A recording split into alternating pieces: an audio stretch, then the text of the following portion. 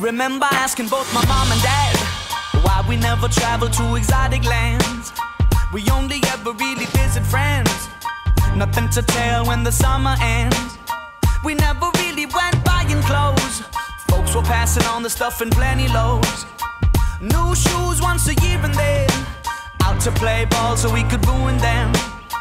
Mama said that it was okay. Mama said that it was quite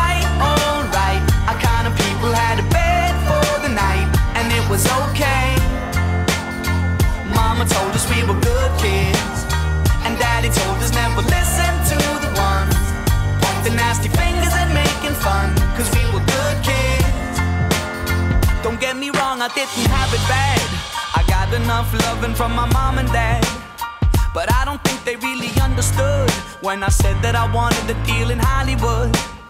I told them I'd be singing on TV. The other kids were calling me a wannabe. The older kids, they started bugging me. But now they're all standing right in front of me. Mama said that it was okay. Mama said that it was quite alright.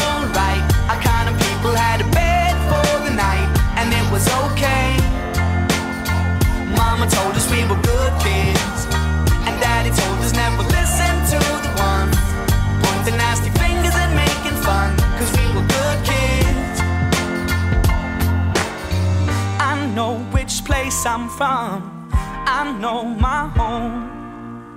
When I'm in doubt and struggling, that's where I go. An old friend can give advice. When new friends only know a half story, that's why I always keep them tight and why I'm okay. I said I'm okay. You know what my mama said? You know what she told me? My mama said.